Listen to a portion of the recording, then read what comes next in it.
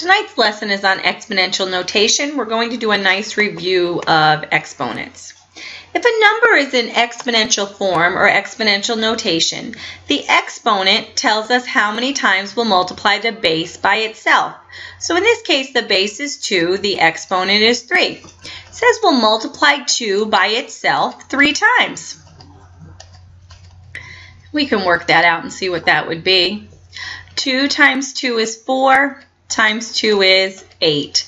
That means 2 to the third power is 8. So 8 is a power of 2. Sometimes the base will be negative. Anytime the base is negative, they'll always put that base within parentheses. And what a base of negative 2 to the third power means is to just take negative 2 and multiply it by itself three times. Again, our exponent is 3, so we're going to multiply negative 2 by itself three times. Let's take a look. Negative 2 times negative 2. A negative times a negative is a positive. 2 times 2 is 4. So then we have 4 times negative 2. A positive times a negative is a negative. 4 times 2 is 8. That means negative 2 within parentheses, the 3 on the outside of parentheses, is actually negative 8 when we simplify it. So negative 2 to the third power is negative 8. In the next example, I'd like you to see, is 5 to the third the same as 5 times 3? Pause the video, write up what you think, and then come on back and see how I worked it out. Okay, hopefully you paused the video. Well, 5 to the third is not the same as 5 times 3. And the reason I even put this slide on here is because you have no idea how many times kids tell me 5 to the third is 15. It's certainly not. You have no idea how many times kids say 5 to the third is 5 times 3. Oh, that's 15. Super. Absolutely not. 5 to the third means 5 times 5 times 5. The 3 tells you how many times to multiply the base by itself. Let's work this out. 5 times 5 is 25. Times 5 is 125. So 5 to the third power equals 125. 5 times 3, on the other hand, 5 times 3 is 15. It means three groups where there's 5 in each group. 5, 10, 15. 5 times 3 is 15. 15 and 125 are certainly not the same. Therefore, 5 to the third is not the same as 5 times 3. Absolutely not. And again, I only put that slide in because you have no idea how many times kids want to tell me that they actually mean the same thing, and they do not. Let's take a look at this example. Negative 2 to the fourth power. I'd like you to think about what that means simplify it, and get me to a single value. Pause the video and try that out. Okay, hopefully you paused the video and tried it. Negative 2 to the fourth power means to multiply negative 2 by itself four times. Let's work that out. Negative 2 times negative 2, a negative times a negative is a positive. 2 times 2 is 4. Negative 2 times negative 2, a negative times a negative is a positive. 2 times 2 is 4. 4 times 4 is 16. So a base of negative 2 raised to the fourth power is 16. And the reason I find that interesting is because we actually started with a negative base, but after we multiplied it by itself four times, our final answer simplified is positive. So sometimes if you start with a negative base and you raise it to a certain power, let's say 4, you'll come up with a positive answer. I wonder if you always get a positive answer when you raise a negative base to a power. To decide that, I'd like you to try this one. Negative 2 is the base, 3 is the exponent. What does negative 2 to the third mean? I need you to pause the video, try it out, come on back. Okay, negative 2 to the third power means negative 2 times negative 2 times negative 2. Negative 2 times negative 2. A negative times a negative is a positive. 2 times 2 is 4 times negative 2. A positive times a negative is a negative. 4 times 2 is 8. Hmm. So negative 2 as your base raised to the third power, multiplying it by itself 3 times, you actually come up with a simplified answer of negative 8. So sometimes when you start with a negative base and raise to a power, you come up with a negative answer. Sometimes when you start with a negative base to a certain power, you come up with a positive answer, like negative 2 to the fourth is a positive 16. I just find that interesting that sometimes you start with a negative base and come up with a simplified positive answer. Sometimes you start with a negative base, like negative 2 to the third power, and you come up with a simplified answer that's also negative. And I just wonder if you can try to think about why that happens. Why sometimes we get positive answers even when our base starts as a negative, and sometimes we get negative answers when our base starts as a negative.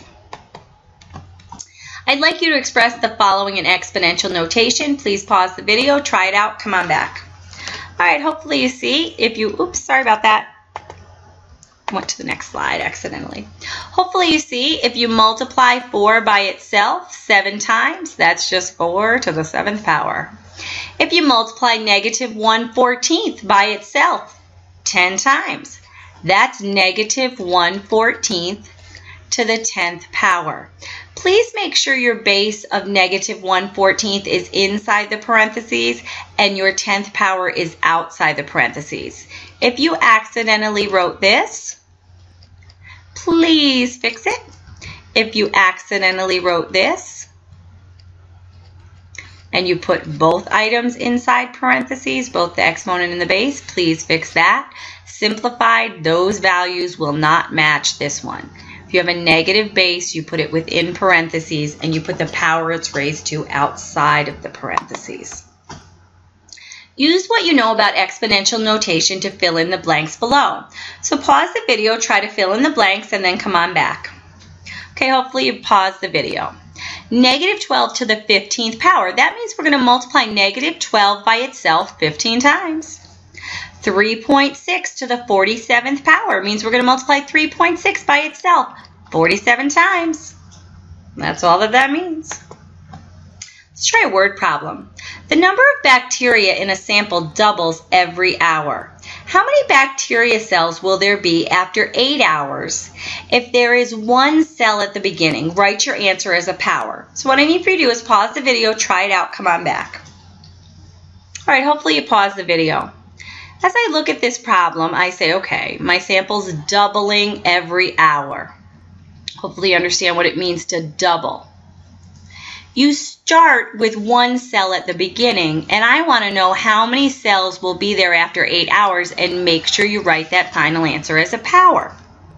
Sometimes I find tables help me organize my information.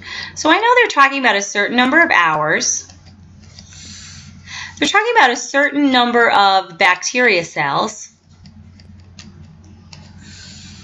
And they're telling me they want my final answer as a power. I know eventually I have to come up to 8 hours. And I have to get my final answer written as a power. Just trying to organize my thoughts. So I'll probably look what happens after 1 hour. What happens after 2 hours. After 3 hours. Maybe even after 4 hours oops, and then dot, dot, dot. Hopefully I'll get a pattern and see what's happening after eight hours. I start with one cell.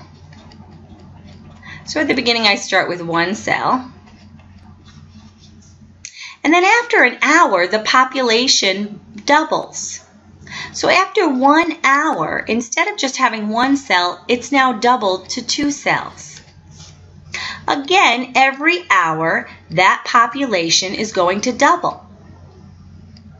So if I double up 2, at the end of my second hour, I'll actually have one, two, three, four cells. 2 doubled becomes 4 cells. We can work this out for another hour.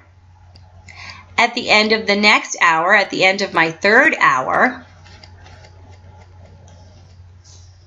I'll actually have one, two, three, four, five, six, seven, eight. I'll actually have eight cells. And that makes sense because 4 doubled will be 8. What does it mean to double? Well, let's just see. 1 times 2 is 2. 2 times 2 is 4. 4 times 2 is 8. Doubling means you're just multiplying by 2 every time. So after our first hour, how many bacteria cells did we have? We had 2. Okay. After 2 hours, we had 4. After 3 hours, we had 8. And we noticed doubling just means to multiply by 2. So 2 times 2 is 4. 4 times 2 is 8. Next step to figure out, we could always do 8 times 2. 8 times 2, doubling 8. 8 times 2 gets us to 16. That means after 4 hours, we'd have 16 bacteria cells. I hope you see here we are repeatedly multiplying by 2. Repeated multiplication of 2 means the base is going to be 2. If we're repeatedly multiplying by 2, we're guaranteed the base will be 2. Now we just have to figure out 2 to what power? Well, I could start here with maybe the 8, and we've actually worked on this one earlier tonight. 2 to the what power is 8? Let's take a look. 2 times 2 times 2. 2 times 2 is 4. 4 times 2 is 8. So 2 to the third power is 8. So you're going to notice after 3 hours, we have 2 to the third power, or 8 bacteria. What about right here? 2 to the what power? 2 to the what power gives us 4 bacteria. Let's take a look. 2 times 2. 2 times itself. 2 times here. 2 times 2. 2 times 2 is 4. That means 2 to the second power is 4. Hmm. So after 2 hours, it's 2 to the second power four bacteria. After 1 hour, 2 to the first is 2. So right here, hopefully we see a pattern now. After 4 hours, it's going to be 2 to the fourth power. Let's just double check that 2 to the fourth really is 16. 2 times 2 times 2 times 2. That's 2 to the fourth power. 2 times 2 is 4. 2 times 2 is 4. 4 times 4 is 16. Of course, 2 to the fourth is 16. So hopefully, if you notice the pattern, after 8 hours, it will be 2 to the eighth power. You'll have 2 to the eighth bacteria. So there is our final answer written as a power, 2 to the eighth.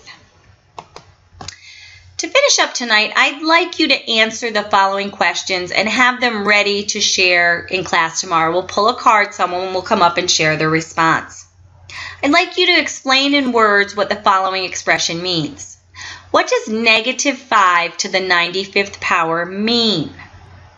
I'd also like to know, do you think the expression negative 5 to the 95th power will be positive or will be negative when you simplify it to a single value. So please do a nice write-up on those. Try to have a good night. See you tomorrow.